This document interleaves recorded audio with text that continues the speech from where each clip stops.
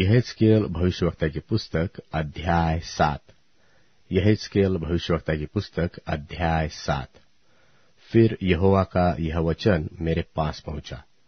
हे मनुष्य के संतान, प्रभु यहोवा इसराइल की भूमि के विषय में यो कहता है कि अंत हुआ। चारों कोनों समेत देश का अंत आ गया है। तेरा अंत भी आ गया, और मैं अपना कोप तुझ पर भड़काकर तेरे चाल चलन के अनुसार तुझे दंड दूँगा, और तेरे सारे घिनौने कामों का फल तुझे दूँगा। मेरी दया दृष्टि तुझ पर न होगी, और न मैं कोमलता करूँगा। और जब तक तेरे घिनौने पाप तुझ में बने रहेंगे, तब तक मैं तेरे चाल चलन का फल तुझे दूँगा। तब तू जान लेगा कि मैं यहोवा हूँ। प्रभु यहोवा यो कहता है विपत्ति है। एक बड़ी विपत्ति है। देखो, वह आती है। अंत आ गया है। सबका अंत आया है। वह तेरे विरुद्ध जागा है। देखो, वह आता है। हे देश के निवासी, तेरे लिए चक्र घूम चुका। समय आ गया। दिन निकट है। पहाड़ों पर आनंद के शब्द का दिन नहीं, हुल्लड़ ही का होगा। अब थोड़े ही दिनों में मैं अपनी जलजलाहट तुझ पर भड़काऊँगा और तुझ पर पूरा कोप उंडे लूँगा और तेरे चाल चलन के अनुसार तुझे दंड दूँगा और तेरे सारे घिनौने कामों का फल तुझे भुगताऊँगा। मेरी दया दृष्टि तुझ पर न होगी और न मैं तुझ पर कोमलता करूँगा। मैं तेरी चाल चलन का फल तुझे भुगताऊँगा और तेरे घिनौने पाप तुझ में बने रहेंगे। तब तुम जान लोगे कि मैं यहोवा दंड देने वाला हूँ। देखो, उस दिन को देखो, वह आता है। चक्र घूम चुका, छड़ी फूल चुकी, अभिमान फूला है। उपद्रव बढ़ते बढ़ते दुष्टता का दंड बन गया। उनमें से कोई न बचेगा, और न उनकी भीड़ भाड़ न उनके धन में से कुछ रहेगा, और न उनमें से किसी के लिए विलाप सुन पड़ेगा। समय आ गया, दिन निकट आ गया है। न तो मोल लेने वाला आनंद करे और न बेचने वाला शोक करे, क्योंकि उनकी सारी भीड़ पर कोप भड़क उठा है।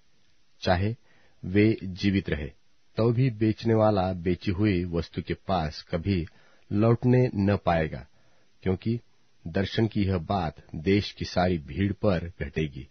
कोई न लौटेगा। कोई भी मनुष्य जो अधर्म में जीवित रहता है बल न पकड़ेगा। उन्होंने नरसिंगा फूका और सब कुछ तैयार कर दिया। परंतु युद्ध में कोई नहीं जाता, क्योंकि देश की सारी भीड़ पर मेरा कोप भड़का हुआ है। बाहर तलवार और भीतर महँगी और मरी है। जो मैदान में हो, वह तलवार से मरेगा, और जो नगर में हो, वह भूख और मरी से मारा जाएगा, और उनमें से जो बच निकलेंगे, वे बचेंगे तो सही, परंतु अपने अपने अधर्म में फंसे रहकर, तराइयों में रहने वाले कबूतरों की नाई पहाड़ों के ऊपर विलाप करते रहेंगे। सबके हाथ ढीले और सबके घुटने अति निर्बल हो जाएँगे, और वे कमर में टाट कसेंगे, और उनके रोए खड़े होंगे। सबके मुँह सूख जाएँगे और सबके सिर मुंडे जाएँगे। वे अपनी चांदी सड़कों में फेंक देंगे और उनका सोना अशुद्ध वस्तु ठहरेगा। यहोवा की जलन के दिन उनका सोना चांदी उनको बचा न सकेगी, न उससे उनका जी संतुष्ट होगा, न उनके पेट भरेंगे, क्योंकि वह उनके अधर्म के ठोकर का कारण हुआ है। उनका देश जो शोभायमान और शिरोमणि था, उसके विषय में उन्होंने गर्व ही गर्व करके उसमें अपनी घृणित वस्तुओं की मूर्तें और घृणित वस्तुएँ बना रखी। इस कारण मैंने उसे उनके लिए अशुद्ध वस्तु ठहराया है और मैं उसे लूटने के लिए परदेशियों के हाथ और धन छीनने के लिए पृथ्वी के दुष्ट लोगों के वश में कर दूँगा और वे उसे अपवित्र कर डालेंगे। मैं उनके मुँह फेर लूँगा। तब वे मेरे रक्षित स्थान को अपवित्र कर डालेंगे और डाकू उसमें घुसकर उसे अपवित्र करेंगे। एक सांकल बना दे, क्योंकि देश अन्याय की हत्या से और नगर उपद्रव से भरा हुआ है।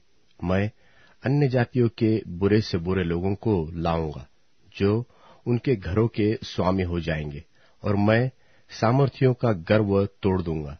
और उनके पवित्र स्थान अपवित्र किए जाएँगे। सत्यानाश होने पर है। तब ढूँढने पर भी उन्हें शांति न मिलेगी। विपत्ति पर विपत्ति आएगी और उड़ती हुई चर्चा पर चर्चा सुनाई पड़ेगी और लोग भविष्यवक्ता से दर्शन की बात पूछेंगे।